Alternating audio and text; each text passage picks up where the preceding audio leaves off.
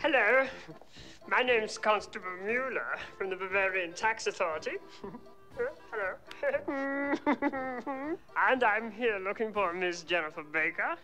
She owes a substantial amount of back taxes from her time as an exchange student at the University of Heidelstrudel. I just need to ask her a couple of questions, little quick questions. I'm not going to bite her. Could I just speak with her for just one moment? I'm not going to bite.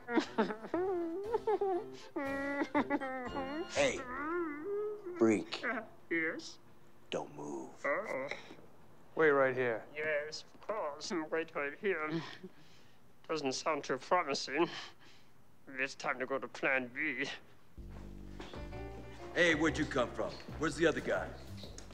Suave, Terry Suave's the name. London, Scotland Yard, that sort of thing.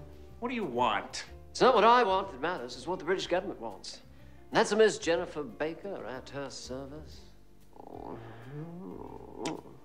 In regards to Operation Minty Hippo.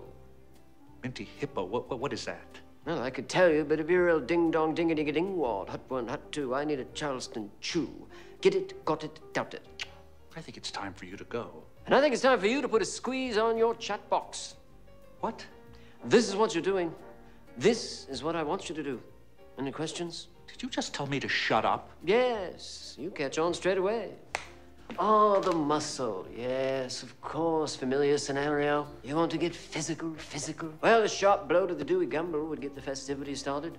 And finally, a smack to the digidonch. Did someone yell timber? Oh, oh, listen, it is okay. I, I, uh, I did receive a letter. She received a letter. Get it? Got it? Doubt it. Good day to you, sir.